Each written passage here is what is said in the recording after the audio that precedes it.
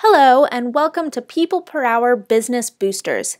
Content is the new buzzword in marketing, and we're going to talk about five great hacks to improve your content marketing.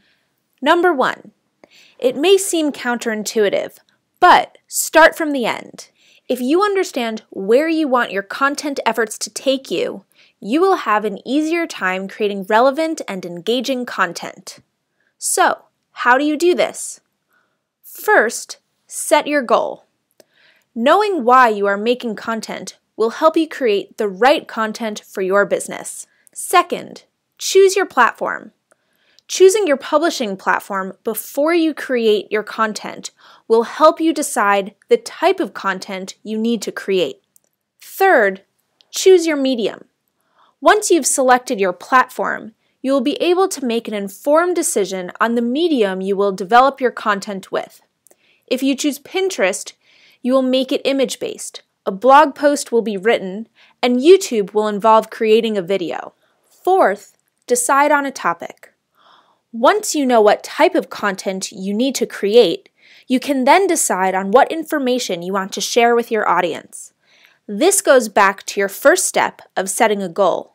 You should do research to know what is already out there for your audience so that you can create engaging content to fill the knowledge gap.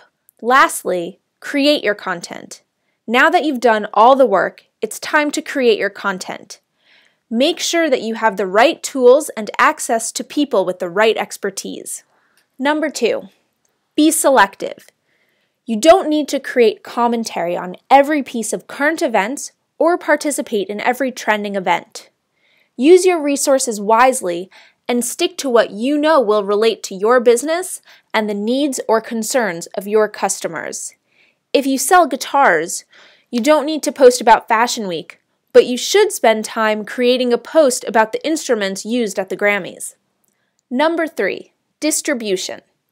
You need to figure out to whom and how you will be distributing the content before you create it. The distribution may alter what you make and how much effort you put into it. You don't want to create a ton of content without knowing how to get it in front of the right audience. Number four, be concise. Time is your customer's most important asset. Be respectful of their time and get to the point, quickly. Don't overwhelm them with details that aren't necessary up front.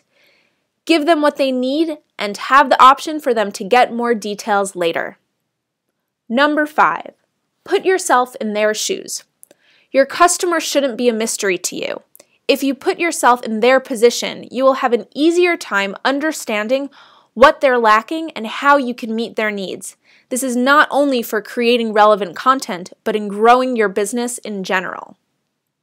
Thanks for joining us for People Per Hour's Business Boosters.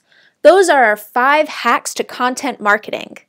Click on the link here to meet one of People Per Hour's own vetted freelancers to help you create engaging content now. See you next time.